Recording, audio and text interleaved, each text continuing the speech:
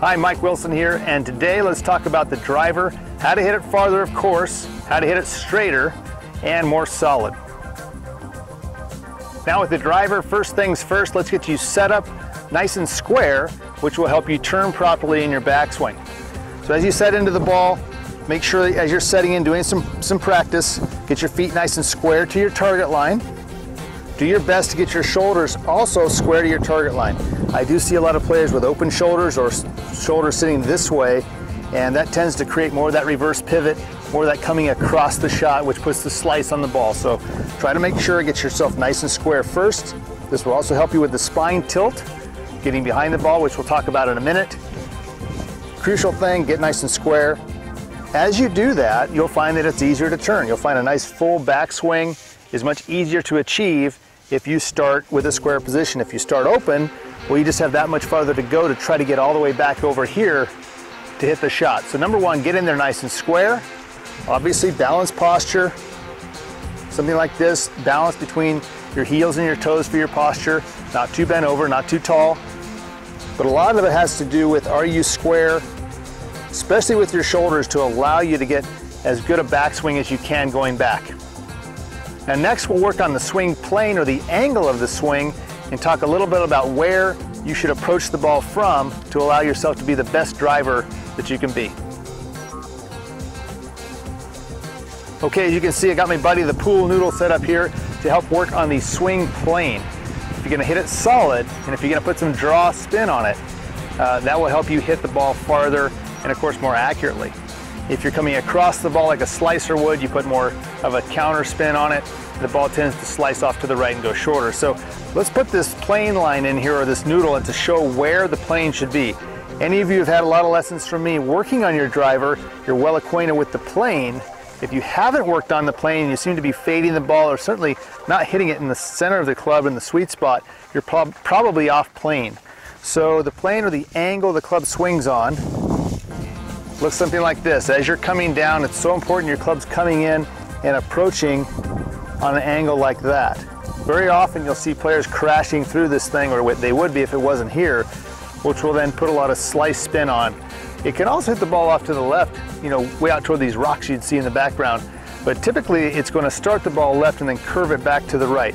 So if you're going to hit the sweet spot of your driver and get more, more distance by just solid contact, it's vital that you learn to get the club up here to the top and start to come down in such a way you would always come down underneath this and that will start to set you up for success.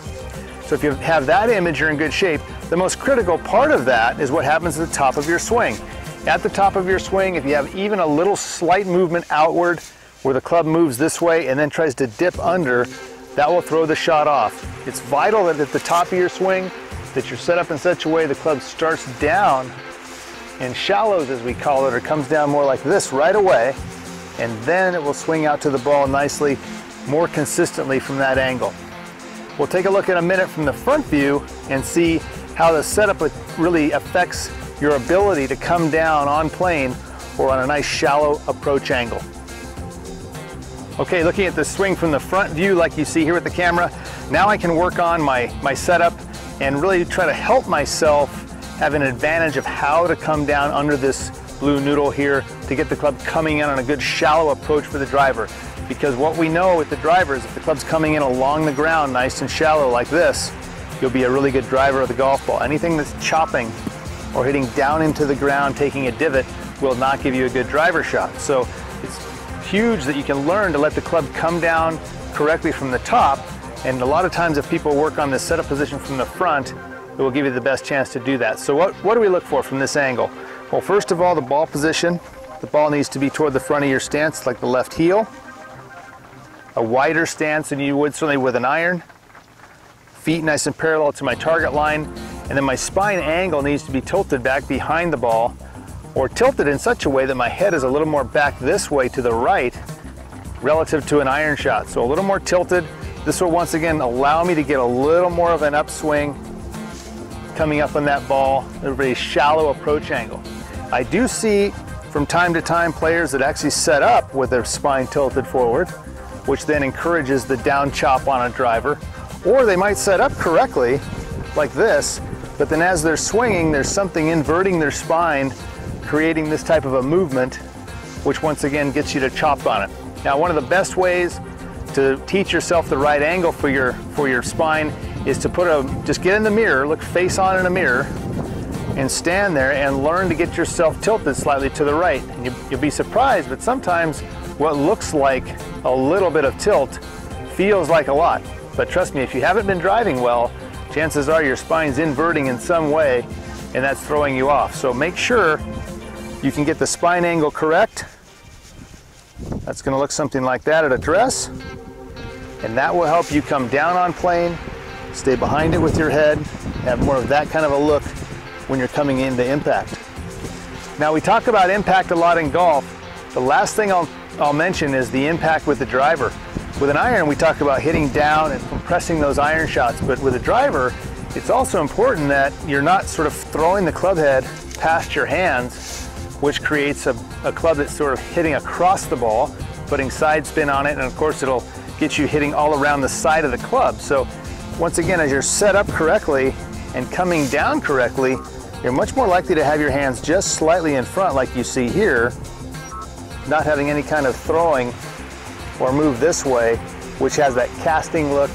Very common from the over-the-top player here that gets that kind of look and then that dreaded chicken wing action on the way through. So making sure that it's coming down under the plane, staying back with your spine angle, hands slightly in front, and that will look like this coming through the ball. Face nice and square, hitting the sweet spot.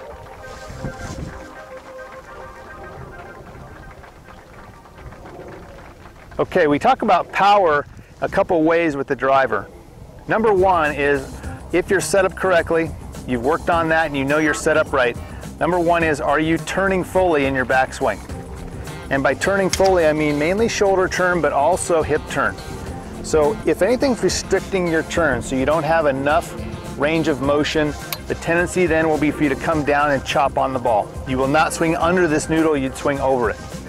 So having a fuller turn, as full a turn as you can have with that tilt, will put you in a position like this, where my back is facing the target, my hips have turned, and my shoulders have turned, and now it's much easier to come down and sweep into that ball like we talked about earlier. So that's number one. You must turn to your potential comfortably to get the best uh, chance to have power. Now, second of all, is overall tension. If your swing is just holding tension in your hands, your arms, your neck, wherever the tension is, or if you're approaching that ball and you can just sense that there's massive buildup of tension, the club was going to go much slower.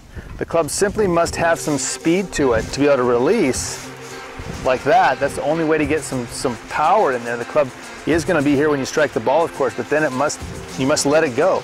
And to let it go, you're going to have to take the tension out. So test yourself to make sure that if you're gonna go work on speed or power, number one, if the setup is good, turn fully. And number two, get the tension out so you can allow the free release to happen, a nice full finish, letting the club flow through the hitting zone and giving you a full release and full finish. Okay, that about wraps it up for the driver video. If you have any questions, please let me know. We want you to be driving the ball well, accurately, as long as you can, to set yourself up for success on as many holes as possible. Have a great day.